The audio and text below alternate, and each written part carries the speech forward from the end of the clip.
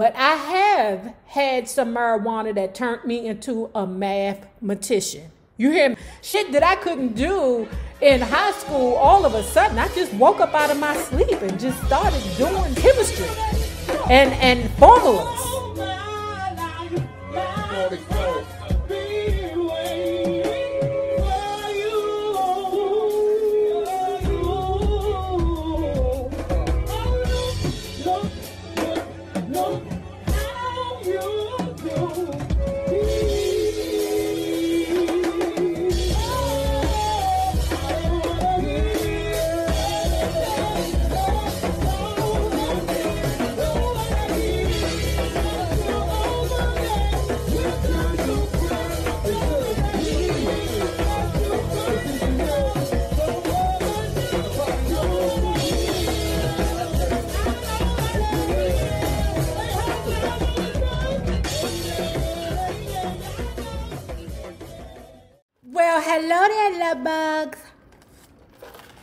Hello there, Bellas. If you have not already done so, please remember to like, share to Facebook, subscribe, and visit uptopbeauty.com. And if you are not already a part of our book club, please hit the Patreon link below and or the join button here on the YouTube and for a small monthly fee of $5, you babies, yes you, can be privy to all the shenanigans before the YouTube gets it, if the YouTube gets it. Now, let's continue talking about Divided Soul. The Life of Marvin Gaye, written by David Ritz. Back in the studio in 1963, after his marriage, Marvin had began pacing the pack. He not only caught up with the others, but jumped out ahead with one significant exception. In June 1963, the same month that Medgar Evers was murdered in Mississippi, Motown had celebrated its second number one pop song the best selling record in the country. Little Stevie Wonder's Fingertips, Part 2, co written by Stevie and Clarence Paul, was all the more unusual because it was a live recording, a virtual revival meeting. In July, Wonder released his first album recorded before Fingertips, in which he was called an 11 year old musical genius. The record, tribute to Uncle Ray, introduced Stevie as the next Ray Charles. Meanwhile, in the summer of 1963, Motown's response to Fingertips was typical crank out more of the same. If the gospel feeling was selling, then pour it on. By November, Holland Dozier Holland, Motown's most successful producer writer team, had written Can I Get a Witness? Whose title revealed its holy roots. Marvin recorded the tune minutes after hearing it for the first time. The song, a particular favorite of John Lennon's, was a hit. Gaye's popularity was on the rise. A disc jockey tells the story of a mid 60s night at the 20 Grand, a Detroit night spot when Gaye was due to perform while Gordy was seated out front. Marvin simply refused to go on, saying he was too frightened. Child, my God. So what happened was, because you know Berry Gordy is famous for getting up out his seat, going backstage, and disciplining his people. Child, the DJ said that Berry Gordy got out of his seat because Marvy Pooh was tripping, smacked him in the face, smacked him in the face like who? Like the Will Smithy and the Jada Pinkett smack? Was it a open hand or was it a backhand? Burning with anger, Berry went backstage and smacked Marvin in the mouth. Oh! Woo, woo, woo. Then began cursing him out. The disc jockey said he'd never seen anyone reprimanded with such vehemence. Marvin took the punishment and a few minutes later performed. I would have got him back later. I probably would have performed. Oh, but I would have got that nigga back later. The next day, he would have had to find me. Matter of fact, for the next 13 days, he would have had to find me. You better tell your peoples to look for me Cause you ain't gonna be able to find me after you didn't put your damn hands on me. And Marvin, how you allow this ninja that is not your pappy to smack you? Don't get me wrong, that Marvin will fight, okay? Because I didn't read sometimes where Marvin then jumped across the desk and tried to wop pop pop pop pow the Berry Gordy. Ooh, two fire signs calling at each other. Row, row. That shit was probably like fight to the death. That shit was like a cage fight, okay? Because you know, neither one of them fire signs, they never give up. Usually, though, his rebellion was not derailed. Soon as I had a couple of hits, I said, No, I don't want no charm school. I don't need no charm school. And no one's going to make me go. Being married to Anna, I got away with that attitude. Now I regret my arrogance because I think teachers like Miss Powell really had something to teach. Maxine Powell headed the Motown Finishing School. She dressed and groomed the Supremes. From a Broadway stage in 1977, Diana Ross introduced her as the woman who taught me everything I know. After a formal banquet in Detroit, during which Esther Gordy Edwards acknowledged Miss Powell's seminal contribution to the company's success. I, meaning David Ritz, met with Maxine privately. Now, let me tell you something. They round here spending money on a party for her child, but they don't even have a retirement plan in place. David Ritz said she was a little upset that all, you know, she had done for the company um, was not rewarded. Because how you reward me you know, for all my time at a company was my pension. She was quite bitter over the fact that she put a lot of work in, you know, and they depended on us. And this is how you treat us. My thing is the party. If y'all ain't got no money for no retirement, I know y'all to spent like $10,000 on this party. Brother, the party, just go ahead and put that thing in my account. I taught them discipline and also how to handle people. My philosophy was don't antagonize the enemy, obligate him. The kids had three main teachers Maurice King, who taught them music, Charlie Atkins taught them dancing, and I gave them presents how to walk, how to talk, how to hold a microphone. Mr. Gordy was interested in giving these young artists class. Marvin Gaye would argue with me.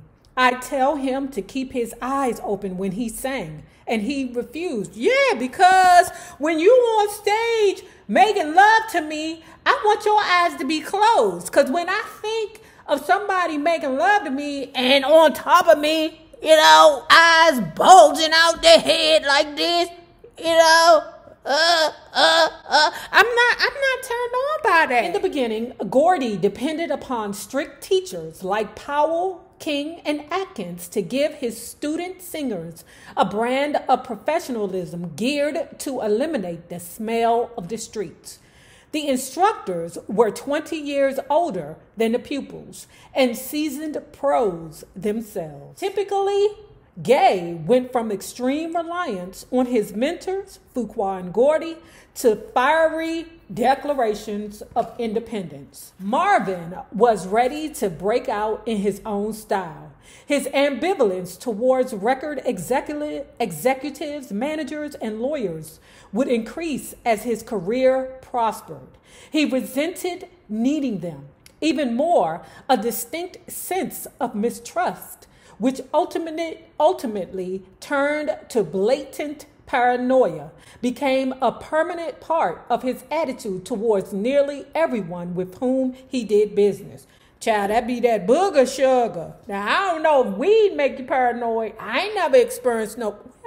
They, yeah, I think it depends on the strain. Do they got a strain called paranoia weed? But oh. I have had some marijuana that turned me into a mathematician. You hear me? Shit that I couldn't do in high school, all of a sudden, I just woke up out of my sleep and just started doing paralleloquies and chemistry and, and formulas. In 1964, Gaye was filled with praise and gratitude for the woman who had given him his advantage, Anna Ruby Gordy Gaye.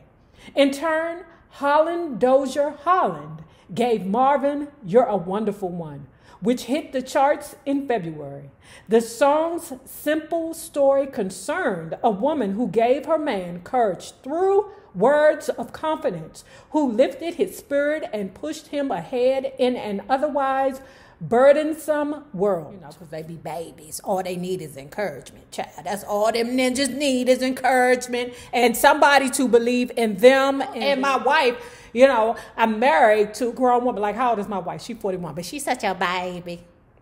Child, it's probably my fault because I didn't turn her into a baby. I sang all these songs for Anna, Marvin said. Before we actually married, I had struggled with the decision. It was something we both wanted, but also a situation where we could see the dangers. Anna and I were hot characters with hot ambitions. Because her ambitions was directed on me, it seemed cool. And once I started selling, I was overjoyed. Because her ambition was directed on me, it seemed cool. And once I started selling, I was overjoyed.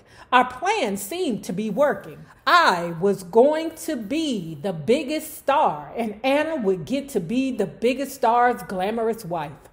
Her thing was being Mrs. Marvin Gaye. She was pushing me to be the champ. In April 1964, Mary Wells' My Guy crossed over and became Motown's third number one pop hit. Marvin benefited from the success because he'd just recorded an album of duets with Mary together. His first in what would be a succession of musical pairings with women. Gaye's duets had enormous impact on his career. They elicited another side of his musical personality. He became the young black boy every young black girl wanted to date and love. White girls also got off on that stuff, Marvin said, but the times wouldn't let them admit it. I've always thought my white female following was extremely strong, though dormant. Women of all shades started falling for Marvin in greater numbers, not only because of his clean cut, pretty boy looks, but also because of the peculiarly personal nature of the love songs he sang with lady singers. With this visibility, however, came problems. Uh, let tell you what the problem was. The public was thinking that the Marvy Poo was hunting on the Mary Wells. We were both young and attractive people, so it started gossip, said Mary Wells. Are they going together? Anna was the jealous type to begin with, Marvin remembered. I guess I didn't make it any easier for her. I had all those hits, and maybe I was feeling a little bit more confident. I was starting to feel my oats. After all, when women are yelling for you night after night, that does something to your head. Temptations were on the rise. I fell into a habit of taking a handkerchief, mopping my brow, and throwing it into the audience. I loved watching the women fight over my sweat. It gave me a funny feeling, a thrill and a fear because I saw how much they really wanted me. Sometimes one of those women would actually run up on stage and throw herself at me. People laugh, but being sexually assaulted by a half crazed woman is no laughing matter. The more success Gaye enjoyed with female fans, the more his old childhood fears of women and his inability to satisfy them resurfaced. Child, I, I don't know. That man is going through all kinds of mental distresses in his mind. Marvin Gaye and Mary Wells were Motown's premier singers in May 1964. Only two months later, though, the situation shifted. In July, the Supremes' Where Did Our Love Go and the Four Tops' Baby I Need Your Lovin' crossed over and ushered in a new era for Motown. Sales went from good to phenomenal. White people in droves were picking up the Motown groove, and for the next several years, the Supremes and the Tops would lead the way to the bank. Mm. Though somewhat less spectacular, Marvin's hits didn't stop. Try It Baby in 1964. Further on, Baby Don't You Do It. A few months later, Holland Dozier Holland borrowed a line from Jackie Gleason and gave Marvin How Sweet It Is. The tune was Gaye's biggest seller to date. Still infatuated with Billie Holiday's Lady in Satin, Marvin asked Clarence to include two of its songs, You've Changed and I'll Be Around. There ah. were also songs associated with Ray Charles and Frank Sinatra. You can feel the seriousness of Marvin's effort. If anything, he tried too hard, enunciating like Nat Cole, slurring like Sinatra. Slurring like Sinatra. Oh, yeah, Sinatra be drinking. That's why. Okay. Sinatra, you know I love you, boy. You know I love you. Don't don't Sinatra fans don't come over here attacking me because in fact, the day that me and my sister were at the Kennedy Center, we were uh, there for Frank Sinatra. Okay, we were there uh, to honor Frank Sinatra. His ballad style remained self-conscious and restrained.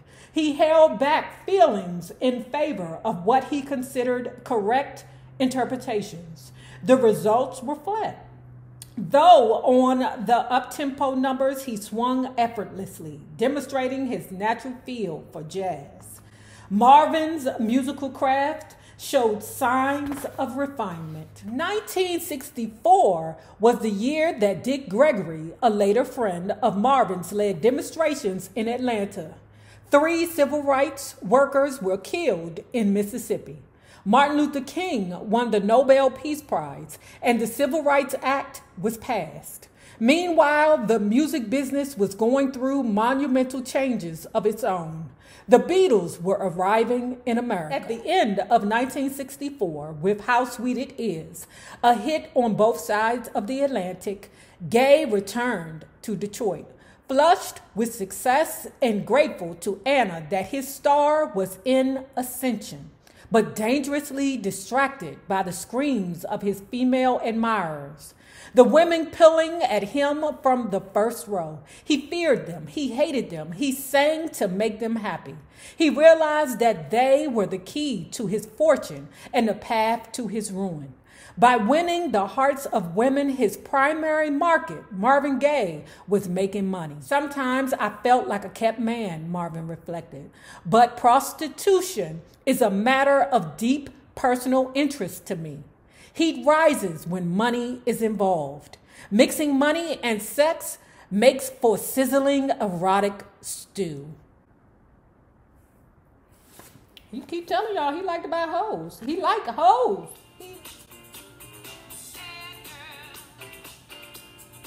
The explosive success of the Supreme set Motown on its ear changing the very nature of the company, turning it from an oddity to a major factor in international pop music. Berry Gordy was already getting rich, Marvin said. But in 64 65, the Supremes made him super rich.